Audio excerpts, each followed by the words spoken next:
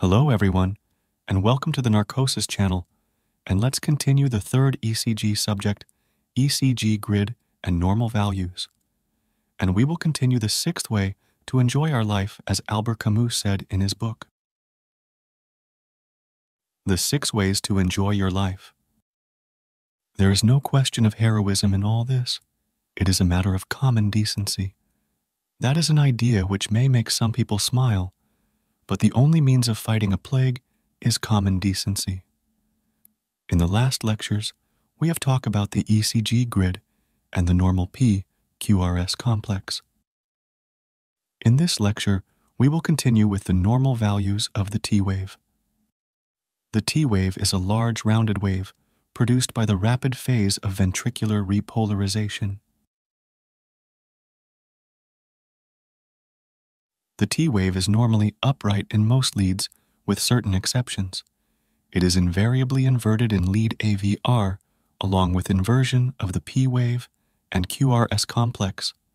Also, it is often inverted in lead V1, occasionally in lead V2 V3, and sometimes in lead 3.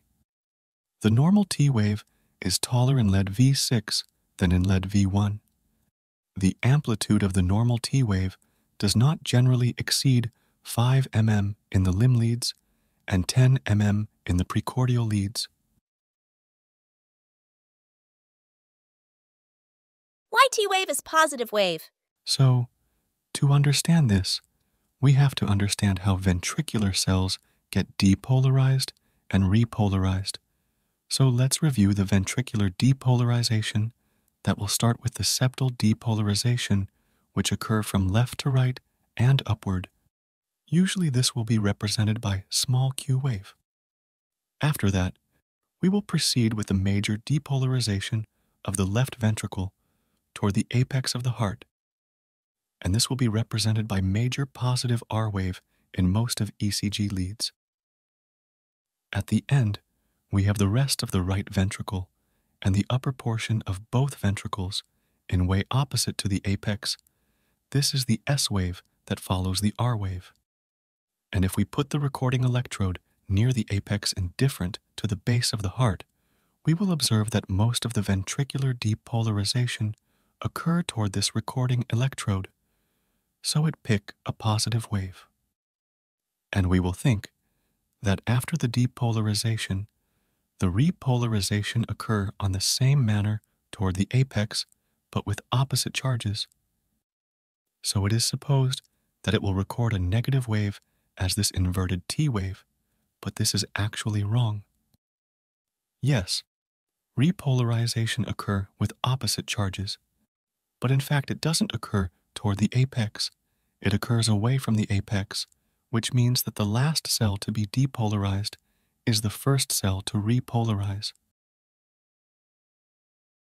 So I want to understand what actually happened and why T wave is positive in most of ECG leads. Okay, let's take a close look to the wall of the ventricle. The inner wall of the heart is called the endocardium, and the outer wall of the heart is called the epicardium. If we connect the electrodes and put the recording on the outer surface, we will see the following first before the depolarization. Myocardial cells carries a positive charges on the outer surface of both electrodes, the recording electrode and the indifferent electrode.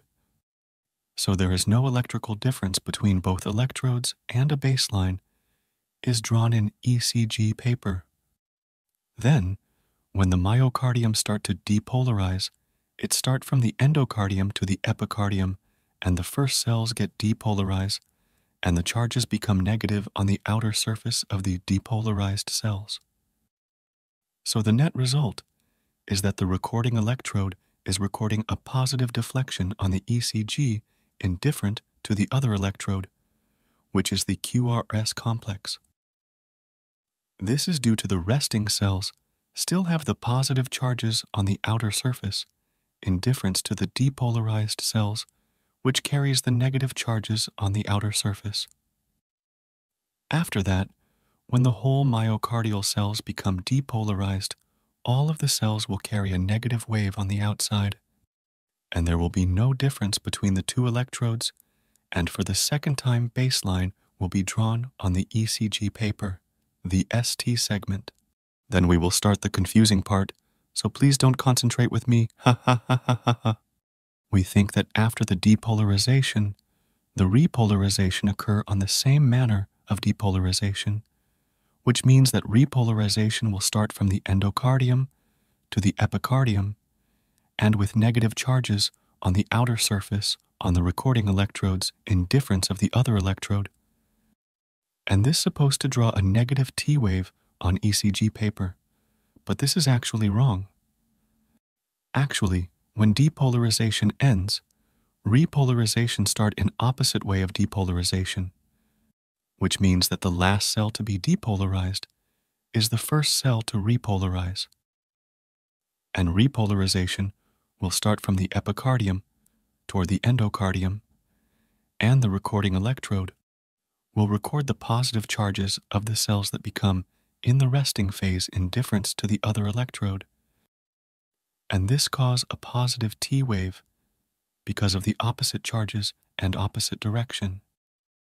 After repolarization end, again there will be no difference between the two electrodes due to that all cells carries a positive wave on the outer surface, and for the third time baseline will be drawn on the ECG paper. The TP segment, let's take an example of these events on lead 2. Lead 2 looks to the heart from the apex, with the recording electrode located near the apex in difference to the base of the heart. The depolarization of the heart will start with atrial depolarization and that will be drawn as positive P wave in lead 2. Then we will have the AV nodal delay that represented by PR segment. After that, we will have the depolarization of the ventricles, which occur also toward the apex of the heart, and this will draw a large positive QRS complex on this lead. Then, we will have the repolarization of both atrium, and as it is weak and has no net vector, it will not be drawn on ECG paper. After that, we will have the repolarization of both ventricles with opposite direction and opposite charges away from the recording electrode, so also it will draw a positive T wave. And this story will be repeated on the next cycle. So we have finished the ECG grid and the normal P wave and the QRS complex and the T wave values and we will continue our talking about the normal ECG values in the next videos. And now let's jump to the question of this day. Why repolarization occurs in opposite way to depolarization?